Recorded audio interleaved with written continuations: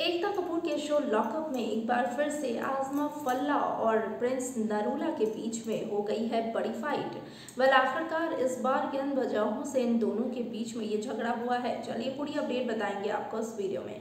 नमस्कार मैं सृष्टि आप सबका स्वागत करती हूँ हमारे यूट्यूब चैनल पर। आपको बता दूँ कि जिस तरीके से प्रिंस नरोला घर के अंदर एंट्री लिए हैं, यानी लॉकअप शो में एंट्री लिए हैं तो वो एज अ चैलेंजर एंट्री लिए हैं। लेकिन इस बात का खबर जो है, वो सभी कैदियों को बिल्कुल भी नहीं है। जहाँ के प्रिंस नरोला कहते हैं, आजमा को कि जाकर तो अपना बाथरूम का ड्यूटी कंप्लीट कर ले और बाथरूम को अच्छे से क्लीन कर दे। वल आजमा यहाँ पर कहती है कि तुम कौन होते हो मुझे यहाँ पर समझाने वाले?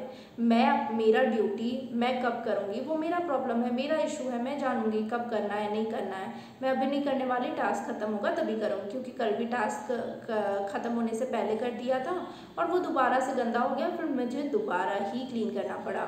यहाँ पर प्रिंस कहते हैं कि देख, तू मुझे सम्मत समझा कि यहाँ पर मैं क्या करने आया हूँ। बस ये ध्यान रख कि मैं यहाँ पर काम करने नहीं आया हूँ, लेकिन फिर भी तुम लोग का, तुम लोग का हेल्प कर रहा हूँ। यहाँ पर आजमा फिर से कहती है कि काम करने नहीं आए हो तो क्या करने आए हो? हमारे सर पर बैठ कर नाचने आए हो। तो इसके बाद फिर से प्रिंस का गुस्सा पड़ता है, यहीं पर पायल आ जाती हैं। पायल कहने लगती हैं कि, देखो प्रिंस एक मिनट रुको। मैं बात करती हूँ आजमा से। आजमा से वो पूछती हैं कि, क्या तू अपना काम ख़त्म कर लेगी ना? तो आजमा कहती है कि हाँ मैं कर लूँगी। लेकिन कब करूँगी? किसके अकॉर्डिंग करूँगी? ये मुझे नहीं पता। मैं अपने हिसाब से कर लूँगी। वेल यहाँ पर पायल आकर एक बार फिर से प्रिंस और आजमा के बीच में जो फाइट बढ़ती जा रही थी, उसे रोक लिया। लेकिन फिर भी अगर हम कह दें तो दोनों के बीच में वर्बली काफ़ी ज़्यादा बहस होते नज़र आई है।